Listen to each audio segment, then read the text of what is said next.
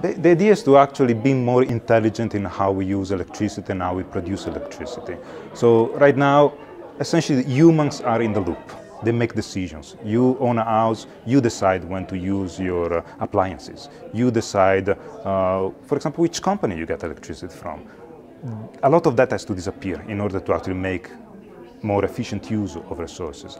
Uh, and in order to make more efficient use of resources, we need to have a lot of information exchange. Pe things have to talk to each other.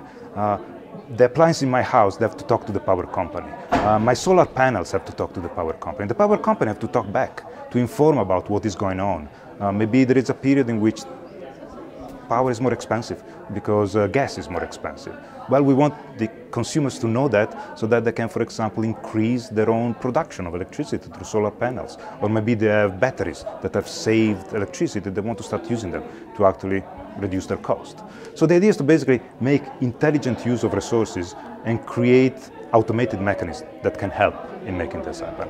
The objectives of the center is to promote the research in this area. Right now we have a lot of researchers that are very interested in different aspects, but there is not as much communication and interaction between, especially people from different disciplines. So the electrical engineers, the computer scientists, mathematicians.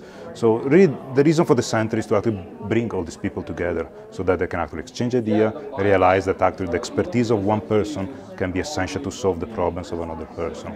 So we already started doing this informally before the funding of this proposal and we realized that we wanted to have something more formal in place and also resources that can actually support this effort and that's where the grant comes into play and allow us to create this center.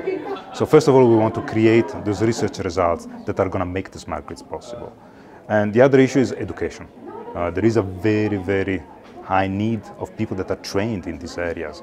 And unfortunately, this is not easy training because it's a train that training that requires knowledge from many different disciplines. So that's again where the idea of a center is, comes useful because then we can have the center design programs, training programs that are going to pull together components from different disciplines and organize them to actually create this kind of expertise.